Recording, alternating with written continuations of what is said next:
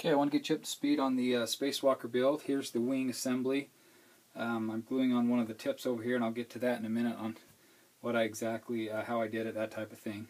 Uh, but just get you up to speed, um, I put a, a, little bit of glue on these ailerons just to, to see how they're going to work. I'm not too happy about the hinges I've used. Uh, they're just probably the best option that I could find out there. Uh, they're the Great Plains ones with the little holes in them, the small ones. And basically, the reason why I haven't been too happy with them is because if you notice, going down, it's kind of it's kind of tight. Um, I don't think the ailerons are going to go down more than that anyway, but I always like to have that extra throw available if, if needs be. So, and basically what I had to do is the hinges don't want to lay flat. What happens is they kind of like, they stop like right there. So what you have to do is you have to dig in this area to throw this hinge back. Because before I had it on there, and that, that was about as far as it'd go down, about right there. So I dug out the bottom here, if you notice, get a good view there. The bottom there, it's dug out more than the top part is. There's a good angle of it. So, and I had to put a little backing right here, so I had enough material.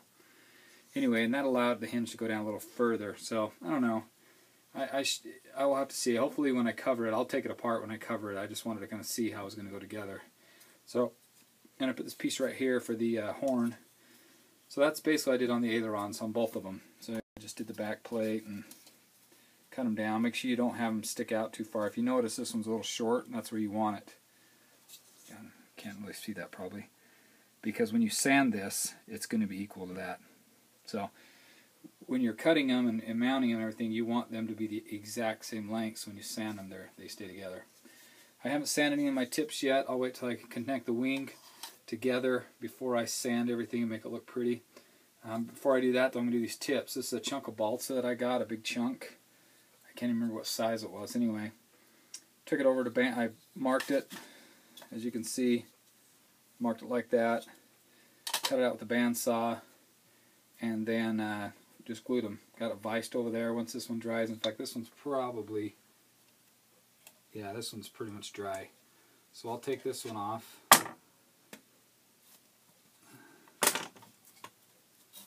My clamps are glued to it. There we go. Um, shouldn't be too heavy. They're about a half, half an ounce per tip, so about an ounce for the entire wing. So now I can shape it. I'll take a sanding block or maybe even on the sanding wheel and and sand it, make it look nice.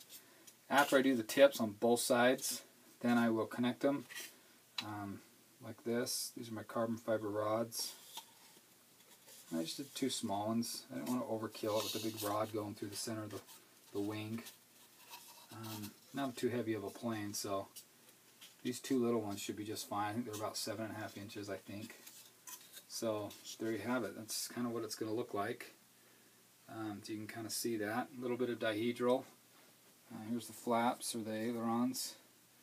So that's about it. Oh, and then after I sand it all down, put the tips on, sand everything down, make it look nice, then I'll cut this out right here and put the servo. And then the servo will actuate the wire going to down here to the horns. So anyway, there you have it. There's the uh, Spacewalker wing.